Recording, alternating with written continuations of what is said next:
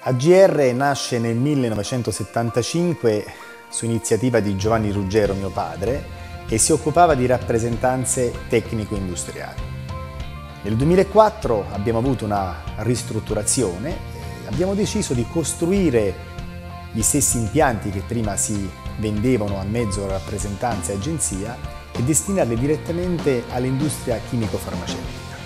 In questi dieci anni abbiamo sviluppato nostri brevetti e una nostra tecnologia che permette il trasporto e il dosaggio delle materie prime in ambito farmaceutico in pieno contenimento, polveri, rispettando le severe norme FDA e GMP. I prodotti AGR si contraddistinguono per la loro versatilità, grazie alla possibilità di essere personalizzati in base alle specifiche esigenze di applicazione e di processo del cliente, mantenendo nel contempo invariata l'eccellente qualità. Inoltre, grazie al supporto di un team di tecnici specializzati, AGR riesce a garantire ai propri clienti un supporto costante nella scelta e nell'elaborazione del progetto più consono alle loro esigenze. Propone soluzioni ottimali e personalizzate, curando nel particolare ogni singola fase della progettazione e produzione, riuscendo a garantire nel contempo la massima vivibilità negli ambienti di lavoro e una particolare attenzione per le mamme che lavorano in azienda, grazie alla costituzione di un nido al proprio interno.